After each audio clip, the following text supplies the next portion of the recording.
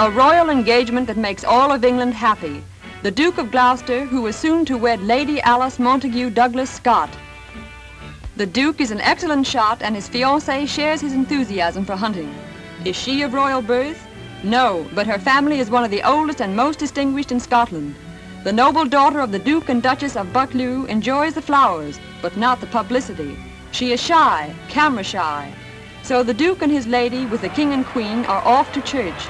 Their Majesties might think, the Prince of Wales, when will he follow his brothers to the altar?